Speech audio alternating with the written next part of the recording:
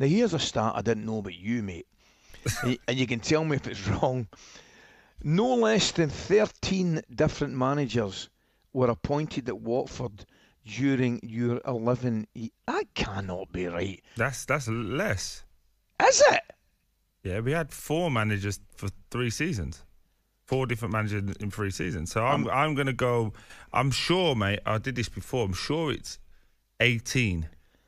It's That's 18, unbelievable. 18 in 12 years. That is unbelievable. Well, well listen, the- the obvious question is you've got you've got enough experience to tell us about.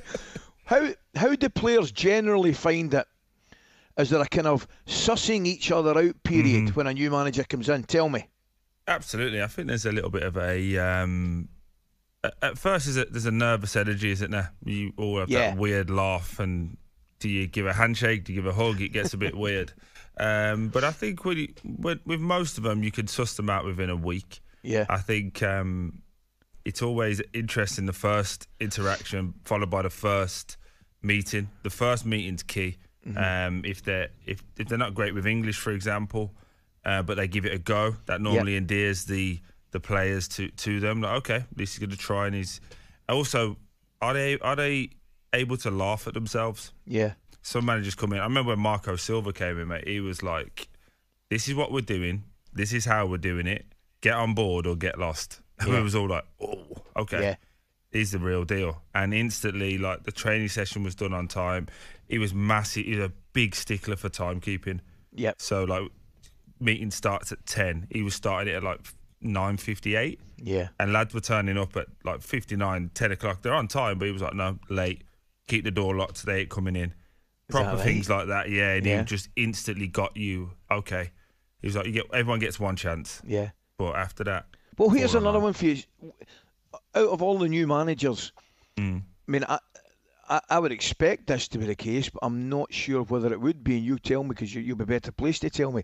New manager comes in. hmm Do the vast majority, if not all of them, give start everybody on a clean slate, or have some of them, do you think, made up their minds, hmm. having watched videos, watched the team, and they've come in with a, their own concept, think, right, I'm not really having him, or I might be having him, or do they come in and say, right, everybody's got a clean slate and we're starting afresh, you've all got the same opportunity to impress? yeah. Normally, it's it's a it's a clean slate, isn't it? And I think one thing we know about players is we can pretend for a little while, but we'll show you who we really are over the course of time. And I Yeah. think for most managers, it's if you're coming in in pre-season, the the six weeks is perfect when you've got those games and Yeah. you can just you can test people, can't you? They could do certain runs. You can say to some people, "I'm not going to play you in this friendly, but you're going to play in that one." Yep. And they can then, as players, you start going, "Well, is that the A team? Is that the B team? Like, what mm-hmm. team am I in?" And then you you start to show who you really are. Um, if you're always late for something, you can pretend to be on time for a week, but after two, three weeks, you're going to start falling back into how you are, aren't you? I just think it. I think it's a really fascinating time. I, the, the the producers have given me like managers to go through, and I, the best one I had was was Nigel Pearson. So he came in and it ended up being the year we got relegated, but he came in in December. Um, I, I never spoke to Nigel properly about that. I played against him a few times Yeah. and what have you.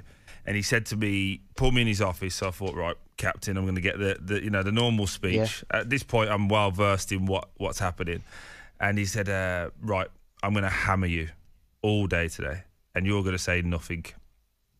Didn't say hello. Didn't say Yeah. good morning. He said, That's what's going to happen. All right."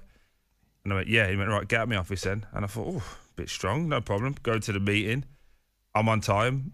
Look, starts with the captain. You're all you're all late. I've Yeah. been in there ten minutes before, so I thought, okay, he's just warned me, no problem, mate. We walked out onto the pitch, the training pitch.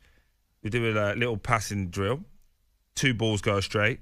Deeney, that's your fault. And he's ha- by the way hammering me in front of everybody, loud. I'm like, okay, this is it's getting to me a little bit now, mate. I'm like, okay, no problem.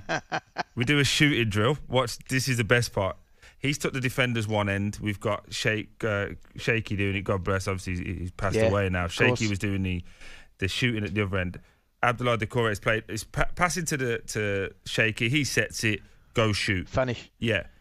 Abdoulaye Doucouré does this. I'm not. He's the first person. He sets it, comes back, and he kind of left foot onto right foot, and it's gone flying over. Yeah. But we've all saw it.